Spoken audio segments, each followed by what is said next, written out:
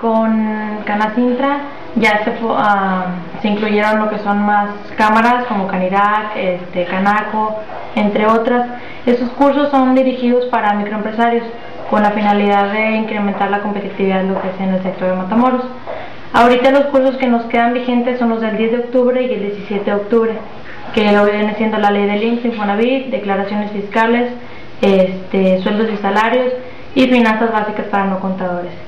Estos cursos se manejan en horarios de 9 a 1 y de 3 a 7 de la tarde. ¿Cómo ha sido la respuesta de los empresarios? La verdad, hemos tenido muy buena respuesta para los emprendedores.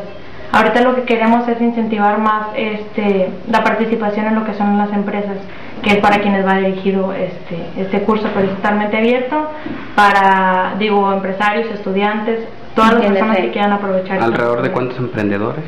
Algunos 20, de, de, 15 a 20 emprendedores son los que están asistiendo actualmente a los cursos. ¿Dónde son los cursos? Aquí en el auditorio de Canacintra. Este, digo, depende de la demanda, lo podemos poner en la salita o en el auditorio, pero, pero los estamos acomodando aquí en Canacintra. ¿Y el horario que están teniendo los cursos? De 9 de la mañana a 1 y de 3 a 7. Entonces, quien desea acudir, mencionas que son eh, los que quedan el del 10 de octubre y el 17, ¿piden directamente ese día o cuál es el proceso? Mira, nos pueden hablar a los teléfonos que es el 812-3202 o bien al correo de capacitación arroba canacintramatamoros.org.mx igual con una servidora Alejandro Escobedo o con quien esté aquí en cámara eh, se registran y posterior digo ya para que tengan reservado su lugar.